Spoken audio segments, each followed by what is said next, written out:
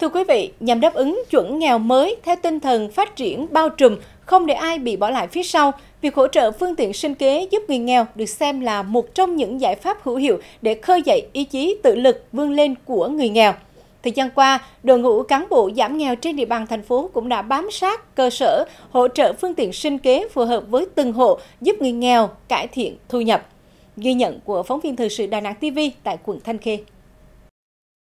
Đây là tiệm trà sữa của chị Nguyễn Thị Hồng Mai, phường An Khê, quận Thanh Khê. Thông qua sự hỗ trợ của Ủy ban Mặt trận Tổ quốc Việt Nam phường An Khê, gia đình chị có được phương tiện sinh kế để phát triển kinh tế gia đình. Tuy giá trị không lớn, nhưng đây là điều kiện cần để chị Mai có điểm tựa vươn lên phát triển kinh tế, giảm bớt gánh nặng chi tiêu hàng ngày. Nói chung là trước đây nhà tôi kinh tế thì cũng khó khăn vì hai vợ chồng mới lị ba cháu nhỏ. Có một mình anh làm là chính, mình chị thì ờ, chủ yếu là chăm các cháu bữa nay mở thêm cái phường hỗ trợ ờ, mở thêm cái tủ để bán trà sữa thì tôi cũng ờ, ờ, có thêm được chút ừ, kinh tế để chi tiêu trong gia đình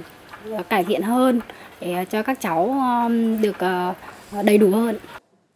Sau quá trình khảo sát, nắm bắt tình hình, từ đầu năm đến nay, Ủy ban Nhân dân quận Thanh Khê đã tổ chức hai đợt trao phương tiện sinh kế cho hơn 100 hộ nghèo hộ cận nghèo, người khuyết tật và hộ có hoàn cảnh khó khăn. Những món quà được trao tận tay cho các hộ nghèo từ xe máy, xe nước mía, bàn máy may đến bàn ghế được xem như chiếc cần câu cơm, góp phần hỗ trợ cho các gia đình có thêm điều kiện để cải thiện kinh tế và có thêm động lực để vươn lên trong cuộc sống.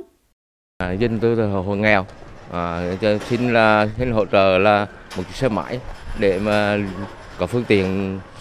sinh kế đi làm ăn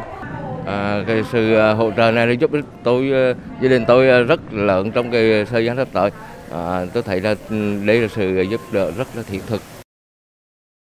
Xác định hỗ trợ sinh kế là một trong những giải pháp thiết thực giúp giảm nghèo bền vững. Thời gian qua mặt trận các cấp cũng luôn chú trọng việc đối thoại tìm giải pháp và hỗ trợ phương tiện sinh kế theo nhu cầu của hộ nghèo góp phần nâng cao hiệu quả công tác giảm nghèo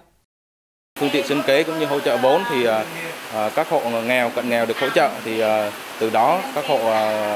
có thêm được động lực phấn đấu vươn lên thoát nghèo làm ăn thoát nghèo giảm nghèo bền vững. Năm 2022 là năm đầu tiên Đà Nẵng thực hiện chuẩn nghèo đa chiều theo nghị quyết 76 của Hội đồng Nhân dân thành phố, với mức thu nhập ở khu vực nông thôn 2 triệu đồng và mức thu nhập ở khu vực thành thị 2 triệu 500 ngàn đồng – Việc hỗ trợ sinh kế cho hộ nghèo là một trong những giải pháp mang tính thực tế cao giúp người nghèo tự chủ kinh tế. Khi áp dụng phương pháp giảm nghèo đa chiều, các buổi đối thoại với hộ nghèo cần được tổ chức thường xuyên để lắng nghe tâm tư nguyện vọng của từng hộ gia đình, thông qua đó đưa ra các giải pháp hỗ trợ kịp thời.